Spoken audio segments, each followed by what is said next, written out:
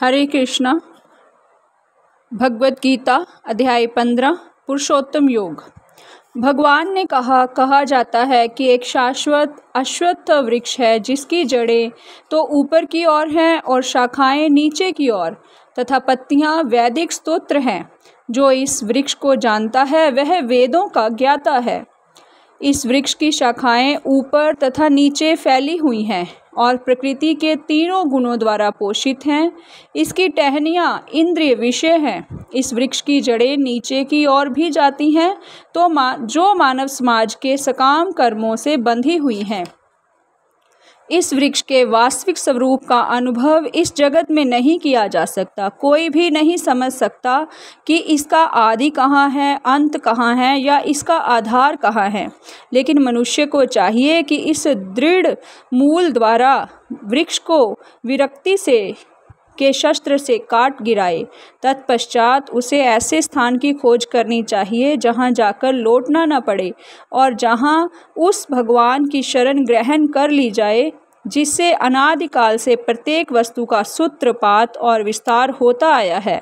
जो झूठी प्रतिष्ठा, मोह और कुसंगति से मुक्त है, जो शाश्वत तप तत्व को समझते हैं। जिन्होंने भौतिक काम को नष्ट कर दिया है, जो सुख तथा दुख के द्वंद्व से मुक्त हैं और जो मोह रहित होकर परम पुरुष के शरणागत होना चाहते हैं, वे उस शाश्वत राज्य को प्राप्त होते हैं।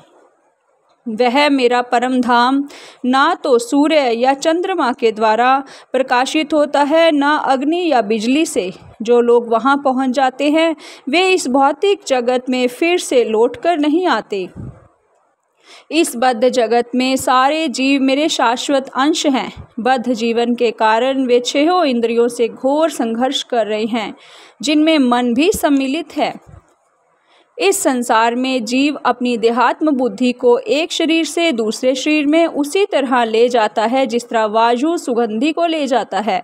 इस प्रकार वह एक शरीर धारण करता है और फिर इसे त्याग कर दूसरा शरीर धारण करता है। इस प्रकार दूसरा स्थूल शरीर धारण करके जीव विशेष प्रकार का कान, आँख, जीभ, नाक तथा स्पर्श इंद्रियाँ त्वचा प्राप्त करता है, जो मन के चारों ओर सपुंजित है। इस प्रकार वह इंद्रिय विषयों के एक विशिष्ट समुच्च का भो, भोग करता है। मूर्ख ना तो समझ पाते हैं कि जीव किस प्रकार अपना शरीर त्याग करता है। ना ही वे यह समझ पाते हैं कि प्रकृति के गुणों के अधीन वे किस तरह इस शरीर का भोग करता है। लेकिन जिसकी आँखें ज्ञान में प्रशिक्षित होती हैं, वह यह सब देख सकता है। आत्म साक्षात्कार को प्राप्त कर प्रयत्नशील योगी जन यह सब स्पष्ट रूप से देख सकते हैं। लेकिन जिनके मन विकसित नहीं हैं और जो आत्म साक्षात्कार को प्राप्त नहीं हैं वे प्रयत्न करके भी यह नहीं देख पाते कि क्या हो रहा है। सूर्य का तेज, जो सारे विश्व के अंधकार को दूर करता है, मुझसे ही निकलता है। चंद्रमा तथा अग्नि के तेज भी मुझसे उत्पन्न है। मैं प्रत्येक लोक में प्रवेश करता हूँ और मेरी शक्ति से सारे लोक अपनी कक्षा में स्थित रहते हैं।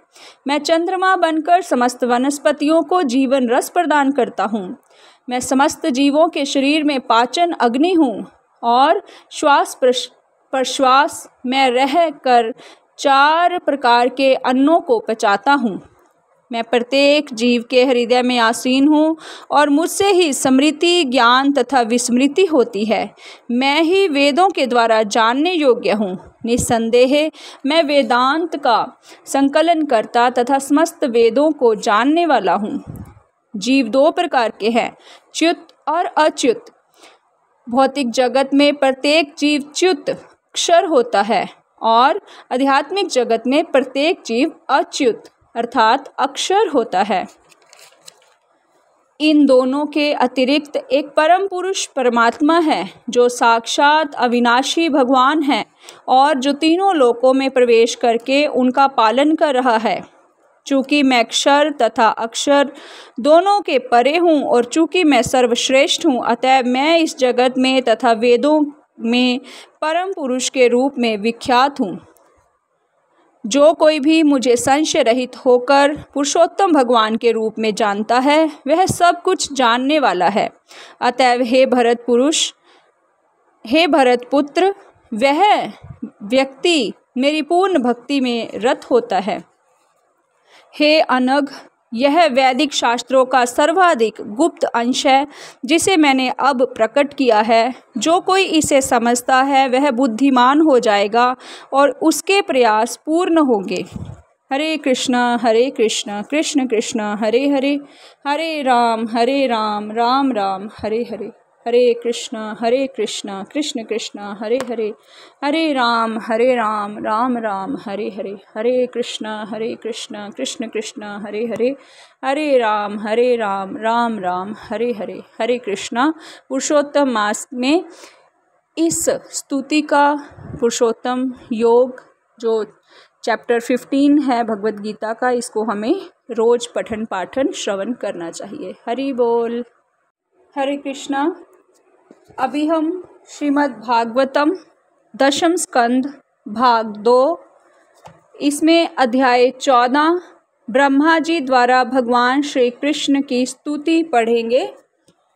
इस अध्याय में ब्रह्मा जी द्वारा नंद नंदन भगवान श्री कृष्ण की स्तुति का वर्णन हुआ है। श्री भगवान को प्रसन्न करने के लिए ब्रह्मा जी ने सर्वप्रथम उनके दिव्य अंगों की स्तुति की और फिर यह घोषित किया कि उनके माधुर्य की मूल पहचान को समझ पाना, उनके ऐश्वर्य की अपेक्षा अधिक कठिन है। वैदिक प्रमाणों से प्राप्त दिव्य ध्वनि के श्रवण तथा कीर्तन की भक्तिमय विधि द्वारा ही श्री भगवान की अनुभूति की जा सकती है। वैदिक प्रमाण के अतिरिक्त अन्य विधियों से ईश्वर की अनुभूति करने का प्रयास निरर्थक है। असीम आध्यात्मिक गुणों के आगार श्री भगवान का रहस्य अचिंत है। इसे समझ पाना निर्विशेष ब्रह्म ब्रह्म से भी अधिक कठिन है। केवल भगवत कृपा से ही उनके यश को समझा जा सकता है। अंत में इसकी अनुभूति होने पर ब्रह्मा जी ने अपने कार्यों की बारंबार भर्त्सना की और यह स्वीकार किया कि ब्रह्मांड के परम आश्रय भगवान श्री कृष्ण ही उनके अपने पिता आदि नारायण है। इस तरह ब्रह्मा जी ने श्री भगवान से क्षमा याचना की। तत्पश्चात ब्रह्मा जी ने श्री भगवान के अचिंत्य ऐश्वर्य का गुणगान किया और जिन जिन बातों में ब्रह्मा जी तथा शिव, श्री विष्णु से भिन्न हैं जिन जिन कारणों से श्री भगवान देवताओं, पशुओं इत्यादि की योनियों में जन्म लेते हैं, जिस प्रकार से श्री भगवान सनातन लीलाएँ करते हैं, उन सब का तथा भौतिक जगत की नश्वरता आदि का वर्णन किया। श्री भगवान को जान लेने पर जीवात्मा भव बंधन से मोक्ष प्राप्त कर सकता है। किंतु वास्तविकता तो यह है कि मोक्ष तथा बंधन दोनों ही अवास्तविक हैं, क्योंकि जीव के बद्ध होने से ही बंधन तथा मोक्ष उत्पन्न होते हैं। भगवान श्री कृष्ण के साकार रूप को भ्रामक मानकर मुख, मूर्ख लोग श्री भगवान के चरण कमलों को छोड़कर परमात्मा की अन्यत्र ज़ोर खोज करते हैं। किंतु उनकी व्यर्थ की यह खोज, उनकी मूर्खता का स्पष्ट प्रमाण है। श्री भगवान की कृपा के बिना उनके सत्य को समझने का कोई उपाय ही नहीं है। इस निष्कर्ष को स्थापित करके ब्रह्मा जी ने ब्रजवासियों के महान सौभाग्य का विश्लेषण किया और तब स्तुति की कि अच्छा होता, यदि वे स्वयं एक तृण, कुंज तथा लता के रूप में वहाँ उत्पन्न हुए होते। निस्संदेह वृंदावन वासियों के आवास भौतिक जगत के बंदी ग्रह नहीं हैं। अपितु ज्ञानियों तथा योगियों द्वारा भी इन आवासों की कामना की जाती है। दूसरी ओर, कोई भी आवास जिसका भगवान श्री कृष्ण से बंधन नहीं होता है, वह भौतिक जगत का बंदी ग्रह ही होता है। अंत में ब्रह्मा जी ने श्री भगवान के चरण कमलों पर अपने आप को पूर्णतया समर्पण कर दिया और बारंबार उनकी प्रशंसा करते हुए उनकी प्रदक्षिणा की और विदा ली। तत्पश्चात श्री कृष्ण ने ब्रह्मा जी द्वारा चुराए गए सारे पशुओं को एकत्र किया और उनको लेकर यमुना तट पर पहुँचे, जहाँ ग्वाल बाल भोजन कर रहे थे। जो मित्रगण पहले ही, पहले वहाँ बैठे थे, वे अभी भी वहीं बैठे थे। भगवान श्री कृष्ण की माया के कारण उन्हें इसका रंच भर भी पता नहीं चला कि क्या हुआ है। अतः जब भगवान श्री कृष्ण बछड़ों के साथ आए तो उन्होंने पूछा, अरे, आप तो इतनी जल्दी लौट आए। बहुत अच्छा हुआ। जब तक आप नहीं थे, हमने एक ग्रास भी नहीं तोड़ा। आइए और खाइए। ग्वाल बालों की बात पर भगवान श्री कृष्ण हँसते हुए उनके साथ भोजन करने लगे। भोजन करते हुए श्री कृष्ण ने किशोर मित्रों से अजगर के चमड़े की ओर संकेत किया। तो बालकों ने सोचा, शायद श्री कृष्ण ने अभी अभी इस भयानक सर्प को मारा है। बाद में उन्होंने वृंदावन वासियों को भगवान श्री कृष्ण द्वारा अघासुर के वध का वृतांत कह सुनाया। इस प्रकार ग्वाल बालों ने भगवान श्री कृष्ण की बाल्य का बाल्यकाल की लीलाओं का वर्णन किया। यद्यपि श्री भगवान की पौगंड आयु छः से लेकर दस वर्ष प्रारंभ हो चुकी थी, श्रील सुखदेव गोस्वामी यह बताते हुए इस अध्याय को समाप्त करते हैं कि गोपियाँ किस तरह श्री कृष्ण को अपने पुत्रों से भी अधिक प्यार करती थीं। तो अभी हम ब्रह्मा जी की स्तुतियाँ पढ़ेंगे। क्या कहा उन्होंने स्तुति में भगवान की? ब्रह्मा जी ने कहा, हे प्रभु आप ही एकमात्र पूज्य भगवान हैं। आप ही पूर्ण पुरुषोत्तम परमेश्वर हैं अतः आपको प्रसन्न करने के लिए मैं आपको सादर नमस्कार करता हूँ और आपकी स्तुति करता हूँ। हे ग्वाल नरेश पुत्र, आपका दिव्य शरीर नवीन बादलों के समान घन श्याम है। आपके वस्त्र बिजली के समान देदीप्यमान हैं और आपके मुखमंडल का सौंदर्य गुंजा के बने आपके कुंडलों से तथा सिर पर लगे मोर पंख से बढ़ जाता है। अनेक वन फूलों तथा पत्तियों की माला पहने तथा चराने की छड़ी, लकुटी, श्रृंग और वंशी से सज्जित आप अपने हाथ में भोजन का ग्रास लिए हुए सुंदर रीति से खड़े हुए हैं। हे प्रभु, ना तो मैं, ना ही कोई अन्य आपके इस दिव्य शरीर के सामर्थ्य का अनुमान लगा सकता है। जिसने मुझ पर इतनी कृपा दिखाई है, आपका शरीर आपके शुद्ध भक्तों की इच्छा पूरी करने के लिए प्रकट होता है। यद्यपि मेरा मन भौतिक कार्यकलापों से पूर्ण रूपेण विरत है तो भी मैं आपके सकार रूप को नहीं समझ पाता। तो भला मैं आपके ही अंतर में आपके द्वारा अनुभव किए जाने वाले सुख को कैसे समझ सकता हूँ? जो व्यक्ति अपने प्रतिष्ठित सामाजिक पदों पर रहते हुए ज्ञान विधि का तिरस्कार करते हैं और मन, वचन और कर्मों से आपके तथा आपके कार्यकलापों के गुणगान के प्रति सम्मान व्यक्त करते हैं। और आप तथा आपके द्वारा उच्चारित इन कथाओं में अपना जीवन न्यौछावर कर देते हैं, वे निश्चित रूप से आपको जीत लेते हैं। अन्यथा आप तीनों लोकों में किसी के द्वारा भी अजय हैं। हे प्रभु, आत्म साक्षात्कार का सर्वोत्तम मार्ग तो आपकी भक्ति ही है। यदि कोई इस मार्ग को त्याग करके ज्ञान के अनुशीलन में प्रवृत्त होता है तो उसे क्लेश ही उठाना होगा और उसे वांछित फल भी नहीं मिल पाएगा। जिस तरह थोथी भूसी को पीटने से अन्न नहीं मिलता, उसी तरह जो केवल चिंतन करता है, उसे आत्म साक्षात्कार नहीं हो पाता। उसके हाथ केवल क्लेश लगता है। हे सर्वशक्तिमान प्रभु, भूतकाल में इस संसार में अनेक योगी जनों ने अपने कर्तव्य निभाते हुए तथा अपने सारे प्रयासों को आपको अर्पित करते हुए भक्ति पद प्राप्त किया है। हे अच्युत, आपके श्रवण तथा कीर्तन द्वारा संपन्न ऐसे भक्ति से वे आपको जान पाए और आपकी शरण में जाकर आपके परम धाम को प्राप्त कर सके। किंतु अभक्तगण आपके पूर्ण साकार रूप में आपका अनुभव नहीं कर सकते। फिर भी हृदय के अंदर आत्मा की प्रत्यक्ष अनुभूति द्वारा वे निर्विशेष ब्रह्म के रूप में आपका अनुभव कर सकते हैं। किंतु वे ऐसा तभी कर सकते हैं जब वे अपने मन तथा इंद्रियों को समस्त भौतिक उपाधियों तथा इंद्रिय विषयों के प्रति आसक्ति से शुद्ध कर लें। केवल इस विधि से ही उनके समक्ष आपका निर्विशेष पहलू प्रकट हो सकेगा। समय के साथ विद्वान दार्शनिक या विज्ञानी पृथ्वी के सारे परमाणु, हिम के कण या शायद सूर्य नक्षत्र तथा ग्रहों से निकलने वाले ज्योति कणों की भी गणना करने में समर्थ हो सकते हैं। किंतु इन विद्वानों में ऐसा कौन है जो आप में, अर्थात पूर्ण पुरुषोत्तम परमेश्वर में निहित असीम दिव्य गुणों का आकलन कर सके? ऐसे भगवान समस्त जीवात्माओं के कल्याण के लिए इस धरती पर अवतरित हुए हैं।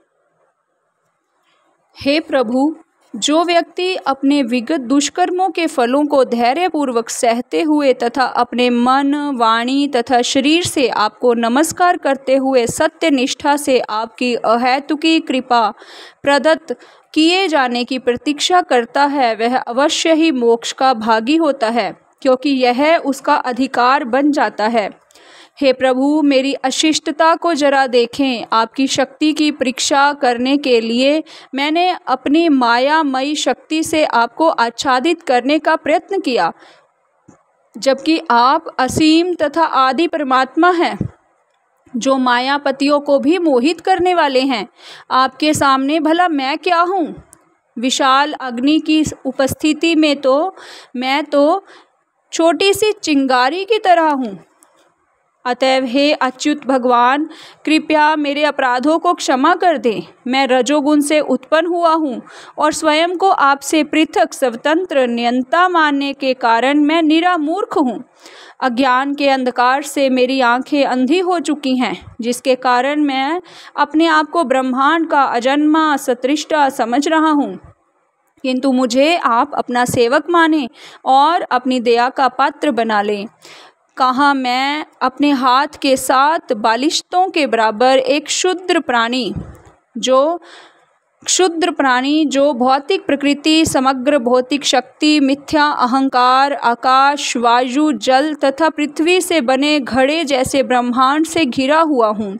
और कहाँ आपकी महिमा? आपके शरीर में रोमकूपों से होकर असंख्य ब्रह्मांड उसी प्रकार आ जा रहे हैं जिस तरह खिड़की की जाली के छेदों से धूल, कण आते जाते रहते हैं। हे प्रभु, अधोक्षज क्या कोई माता अपने गर्भ के भीतर स्थित शिशु द्वारा लात मारे जाने को अपराध समझती है? क्या आपके उदर के बाहर वास्तव में ऐसी किसी वस्तु का अस्तित्व है जिसे दार्शनिक जन वास्तविक या अवास्तविक की उपाधि प्रदान कर सके। हे प्रभु, ऐसा कहा जाता है कि जब प्रलय के समय तीनों लोग जल मग्न हो जाते हैं तो आपके अंश नारायण जल में लेट जाते हैं। उनकी नाभि से धीरे धीरे एक कमल का फूल निकलता है। और उस फूल से ब्रह्मा जी का जन्म होता है। अवश्य ही यह वचन झूठे नहीं है तो क्या मैं आपसे उत्पन्न नहीं हूँ? हे परम नियंता प्रत्येक देहधारी जीव के आत्मा तथा समस्त लोकों के शाश्वत साक्षी होने के कारण क्या आप आदि नारायण नहीं हैं? निस्संदेह भगवान नारायण आपके ही अंश हैं और वे नारायण इसलिए कहलाते हैं क्योंकि ब्रह्मांड के आदि जल के जनक हैं। वे सत्य हैं, आपकी माया से उत्पन्न नहीं हैं। हे प्रभु, यदि संपूर्ण ब्रह्मांड को शरण देने वाला आपका यह दिव्य शरीर वास्तव में जल में शयन करता है तो फिर आप मुझे तब क्यों नहीं दिखे जब मैं आपको ढूंढ रहा था? और जब मैं अपने हृदय में ठीक से आपके दर्शन नहीं कर पा रहा था, तब क्यों आप सहसा प्रकट हो गए? हे प्रभु आपने इसी अवतार में यह सिद्ध कर दिया है कि आप माया के परम नियंत्रक हैं। यद्यपि आप अब इस ब्रह्मांड के अंदर हैं, किंतु ब्रह्मांड का समस्त सर्जन आपके दिव्य शरीर के अंदर है। आपने इस तथ्य को माता यशोदा के समक्ष अपने उदर के अंदर ब्रह्मांड दिखलाकर प्रदर्शित कर दिया है। जिस प्रकार आप सहित यह संपूर्ण ब्रह्मांड आपके उदर में प्रदर्शित किया गया था। उसी प्रकार अब यह उसी रूप में यहाँ पर प्रकट हुआ है। आपकी अचिंत्य शक्ति की व्यवस्था के बिना भला ऐसा कैसे घटित हो सकता है? क्या आपने आज मुझे यह नहीं दिखलाया कि आप स्वयं तथा इस सृष्टि की प्रत्येक वस्तु आपकी अचिंत्य शक्ति के ही प्रकट्य हैं। सर्वप्रथम आप अकेले प्रकट हुए, तत्पश्चात आप वृंदावन के बछड़ों तथा अपने मित्र गवाल बालों के रूप में प्रकट हुए। इसके बाद आप उतने ही चतुर्भुजी विष्णु रूपों में भी प्रकट हुए, जो मुझ सहित समस्त जीवों द्वारा पूजे जा रहे हैं। तत्पश्चात आप उतने ही संपूर्ण ब्रह्मांडों के रूप में प्रकट हुए।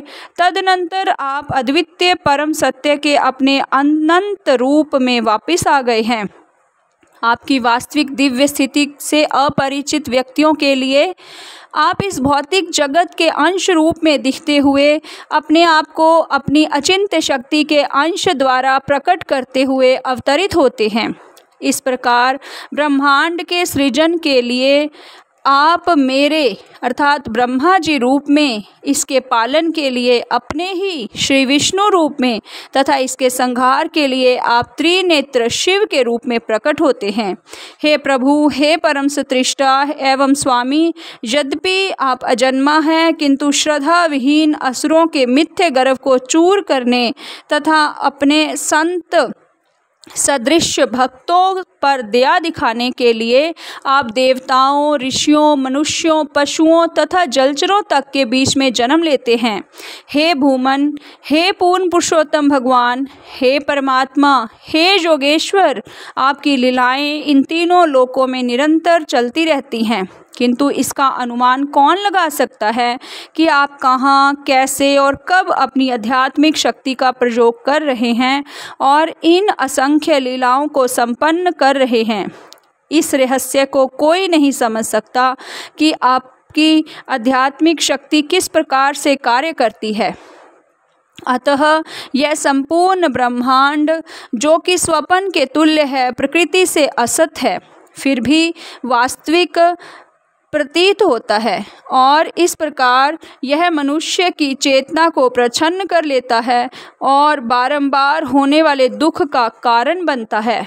यह ब्रह्मांड सत्य इसलिए प्रतीत होता है क्योंकि यह आपसे उद्भूत माया की शक्ति द्वारा प्रकट किया जाता है, जिनके असंख्य दिव्य रूप शाश्वत सुख तथा ज्ञान से पूर्ण हैं।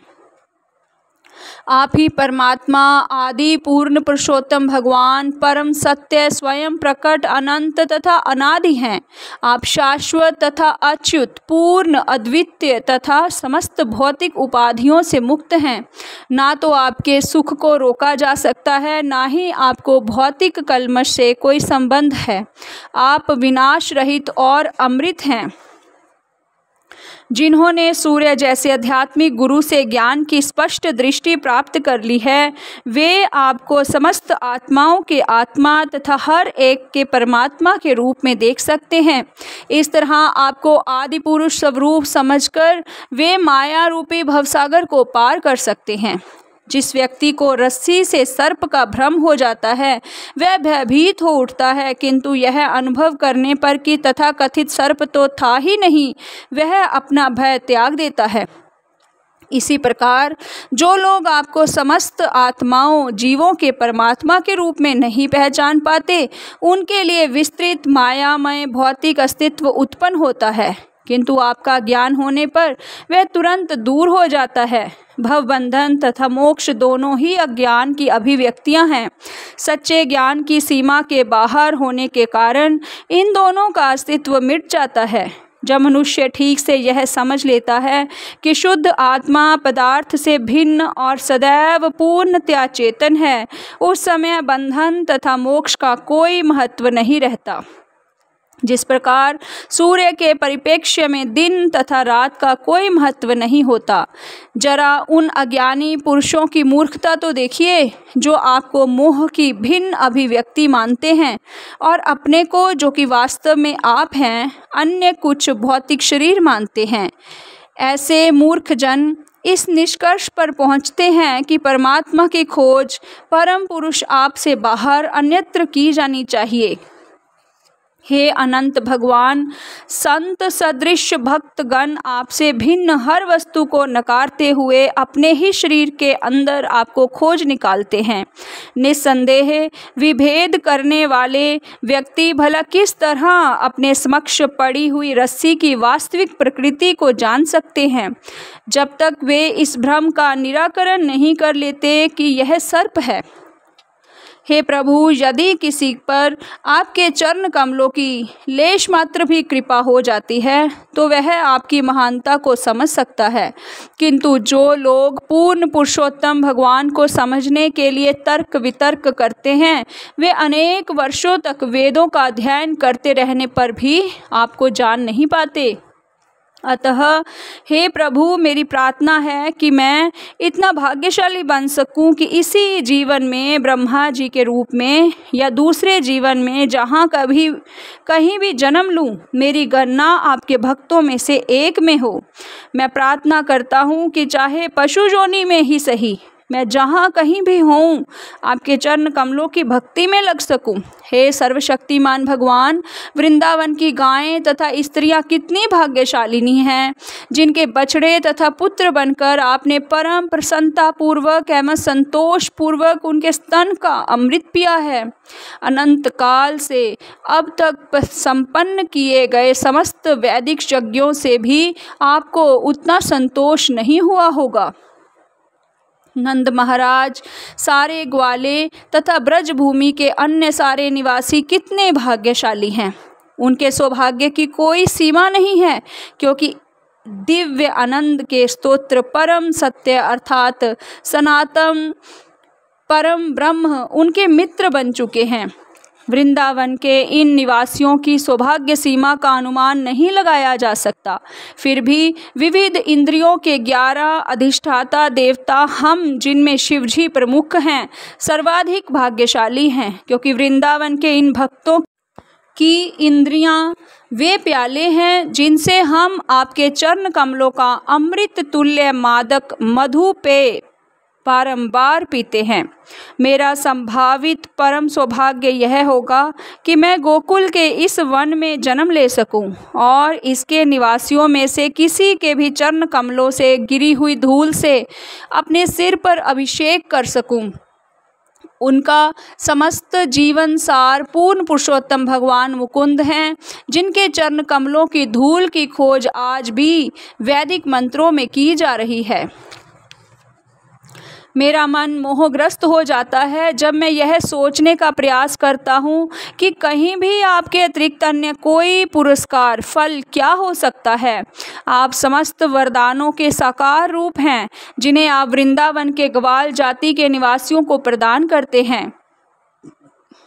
आपने पहले ही उस पूतना द्वारा भक्त का वेश बनाने के बदले में उसे तथा उसके परिवार वालों को अपने आप को दे डाला है। अतः वृंदावन के इन भक्तों को देने के लिए आपके पास बचा ही क्या है?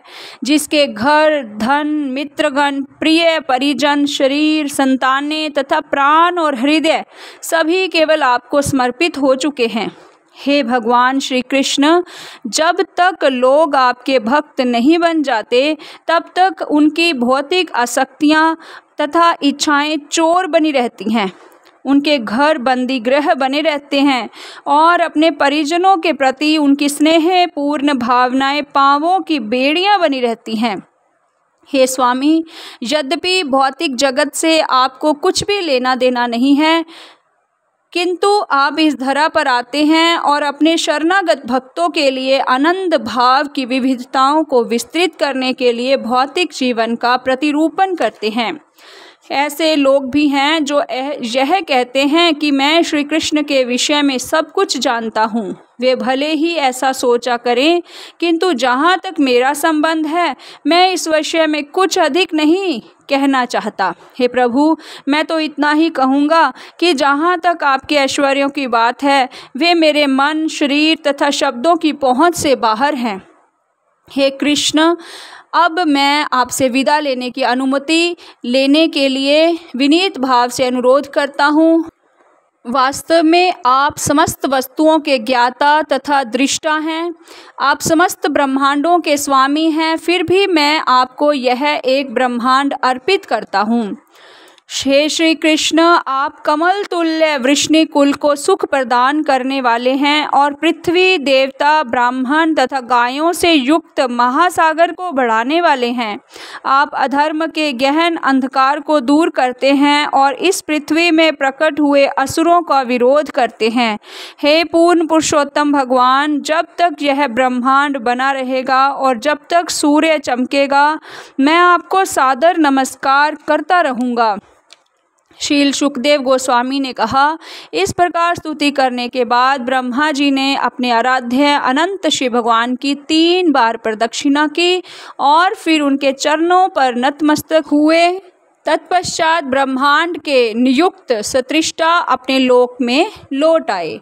हरे कृष्ण हरे कृष्ण कृष्ण कृष्ण, हरे हरे हरे राम हरे राम राम राम, हरे हरे। हरे कृष्ण हरे कृष्ण कृष्ण कृष्ण, हरे हरे। हरे राम हरे राम राम राम, हरे हरे। हरे कृष्ण हरे कृष्ण कृष्ण कृष्ण, हरे हरे। हरे राम हरे राम राम राम, हरे हरे। हरे कृष्ण हरे कृष्ण कृष्ण कृष्ण, हरे हरे। हरे राम हरे राम राम राम, हरे हरे हरे कृष्ण। हरे कृष्ण, कृपया इस वीडियो को ज़्यादा से ज़्यादा शेयर करें ताकि पुरुषोत्तम मास का जो फ़ायदा है वो सभी ले सकें। आप अपने रिलेटिव्स अपने फ्रेंड्स को, सबको ये शेयर करें और उनको कहें कि ये स्तुतियाँ रोज़ सुने। हरी बोल।